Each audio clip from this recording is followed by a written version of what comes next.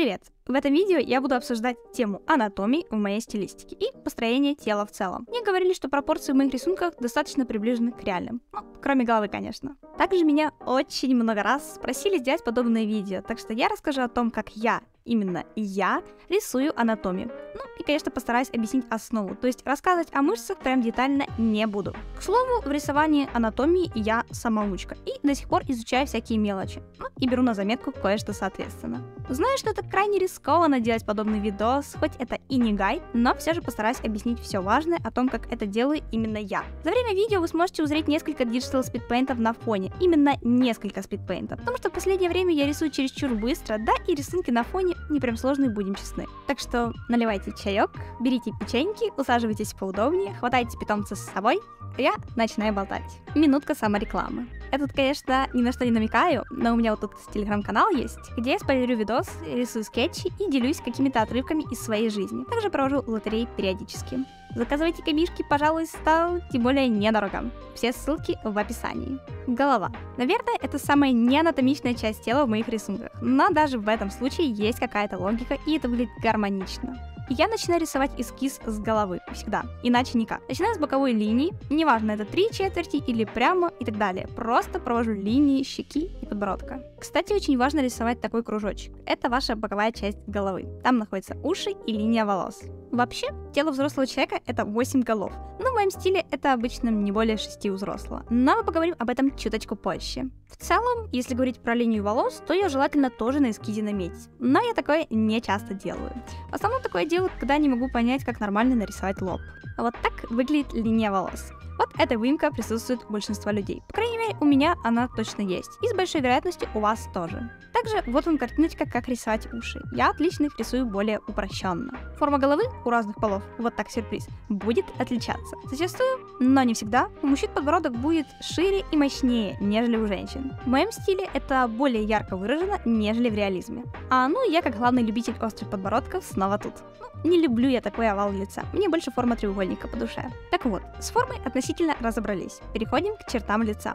Нос и подбородок более острый. Такой стиль хоть и не анатомичен, но очень хорошо передает эмоции. Конечно, если взглянуть на мемные картинки с людьми, то там тоже будут яркие эмоции, но и явно проигрывающие по уровню комичности в сравнении с стилизацией. В рисунке можно нарисовать рот на пол головы, а в реальности такое не прокатит. Голова в профиль более вытянутая, то есть не круглая, как шарик. Нижняя часть лица у меня специально вытянутая. В три четверти, если глаз находится дальше от зрителя, то он не будет вертикально меньше, а лишь станет более приплюснутым горизонтально. Но тут от перспективы зависит. Сейчас я говорю просто об обычном построении. Так что на анатомии лиц в своем стиле не стоит равняться, если вы только учитесь рисовать и изучаете азы анатомии. Просто к сведению. Теперь поговорим про челюсть. Да, я очень часто сама игнорирую эти правила для упрощения стиля. К примеру, на экране вы видите рисование челюсти с разных ракурсов. Да, оказывается, чтобы нарисовать рот, нужно уметь рисовать что-то больше, чем две белые полоски и розовый язык. Думаю, на этой теме долго задерживаться не будем. Переходим к следующему пункту. Прервемся на спонсора. Сегодня мне прислали на обзор свой графический планшет компания Parbla. Это планшет Intangba, и он в двух расцветках, фиолетовый и черный, а также размером M с рабочей областью 10 на 6 дюймов и C с рабочей областью 7 на 4 дюйма. В комплект входит сам планшет, стилус с подставкой, перчатка, тряпка для протирания планшета, кабель и два переходника с USB на Type-C и на micro-USB для подключения к телефону. Еще мне положили наклейки и книжную закладку в подарок, что очень приятно, потому что я лично обожаю наклейки. Планшет можно использовать с компьютерами на Mac и Windows, а также на устройствах Android. Стилус имеет 8192 уровня нажатия и может работать под углом до 60 градусов. В размере M на планшете 8 программируемых кнопок и колесо. А купить этот планшет и другие устройства от компании Parbla вы можете по ссылке в описании и с промокодом Aurora10, который даст вам 10% скидку. Ну что ж, вернемся к видео. Шея. Шея моей стилистике более худая и длиннее, нежели реальная шея. Мышцы не так ярко выражены, хотя вот у мужчин в моем стиле шея как раз таки более-менее реалистичная, с такими пропорциями. У большинства мужчин и у некоторых женщин присутствует кадык. Вот эта штучка, не забывайте о ней. Я попыталась найти некоторые картинки, связанные с мышцами шеи, в качестве примера. Но да, для меня это не прям актуально, ведь я почти не рисую что-то мега реалистичное. Но для общего развития сойдет плечи, грудная клетка и торс в целом. Зачастую, но не всегда, женский торс менее мощный, нежели мужской. Так что рассмотрим оба тела по очереди, а потом сравним. Иногда я себя ловлю на мысли, что рассказываю абсолютно очевидные вещи, но допустим. Начнем с женского тела. После того, как я нарисовала шею, я рисую ту самую мышцу между уголком плеч и шеей. Зачастую это не прямая линия, потому что у разных людей разный процент мышц, а соответственно эта мышца может быть более ярко выражена. После чего рисую квадратное плечо, а почему бы и нет, и провожу линии тела, которые проходят ровно посередине туловища, то есть через середину ключиц, солнечное сплетение и до пупка. Обычно женские плечи компактнее, нежели у мужчин, но тут от случая к случаю, как говорится. Потом я вывожу форму груди и спину. Грудь, кстати, это не просто круглый шарик, а как шарик с водой, который взяли за уголок, и гравитация тянет воду к земле соответственно. То есть это больше форма груши. Это мы вот говорим про естественную грудь. Импланты вообще могут быть хоть треугольными. Если брать человека в три четверти, то важно не забывать о спине и вот об этом расстоянии. Оно тоже у вас есть. Рисуем ребра, выводим талию, если это нужно, и переходим к тазовой тазовой кости. У женщин она зачастую шире, чем у мужчин. Также присутствует такая небольшая впадина, та самая впадина, которую кто-то считает несуществующей, а кто-то наоборот пытается доказать ее присутствие. Странно, что по этому поводу до сих пор идут срачи. К примеру, у меня эта впадина есть. У меня нет лишнего веса, поэтому ее относительно хорошо видно. Мужское тело по своему строению шире в плечах, грудь меньше по форме, а спина шире. Тазовая кость уже соответственно. Если брать во внимание вид со спины, то также присутствует линия позвоночника и лопатки, ну а также прочие мышцы, если они ярко выражены в случае постоянных физических нагрузок. Ну и ситуация сбоку. Думаю, у вас уже появилось такое чувство, будто вы сейчас сидите на руках художки. Руки. Далее я рисую руки. Рука делится на три части. Часть от локтя будет чуть короче, если не брать в счет ладонь, а с ладонью та часть будет больше соответственно. Ладно, теперь перейдем к вкусненькому, а именно к ладошкам и тому, как я их рисую. У меня есть такой прямоугольник и 5 сосисок. Каждая сосиска состоит из трех частей. Если брать основную четверку, то первая фаланга всех тех четырех пальцев приблизительно одного размера, но вторая и третья фаланга разнится от мизинца до среднего пальца. Вообще, это не совсем прямоугольник, а скорее такая трапеция с одной округлой стороной. Лично у меня все три фаланги мизинца почти одинаковые по размеру. Большой палец вообще самый странный из пятерок. Тоже три фаланги, но абсолютно другой. В основе он шире. Самый короткий палец из четверки это мизинец. После него на втором месте безымянный и указательный, а на первом месте у нас средний. У меня